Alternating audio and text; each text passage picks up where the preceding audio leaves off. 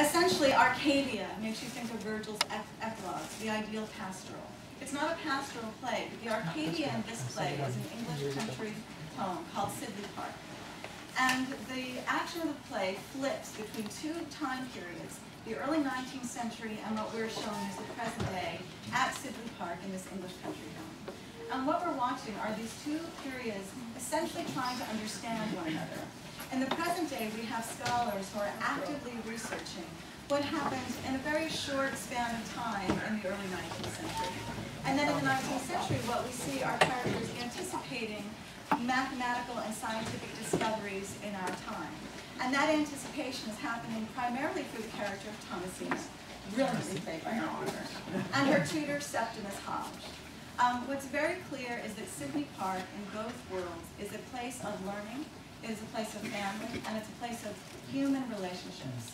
Stoppard has a reputation for being very intellectual. I think this is absolutely the most human of his plays.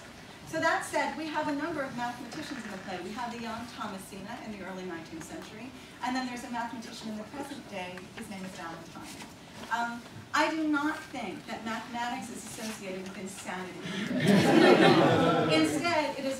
With mystery and wonder and intellectual curiosity, and also, in a really beautiful, surprising way, with love and with real human affection.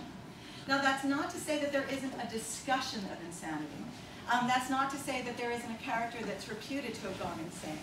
Um, but one of the things we see happen here is, are the difficulties of understanding different worlds. So we see these modern academics trying to understand what happened in the past, and we see how deeply flawed their conclusions are because we're privileged to have seen the earlier world.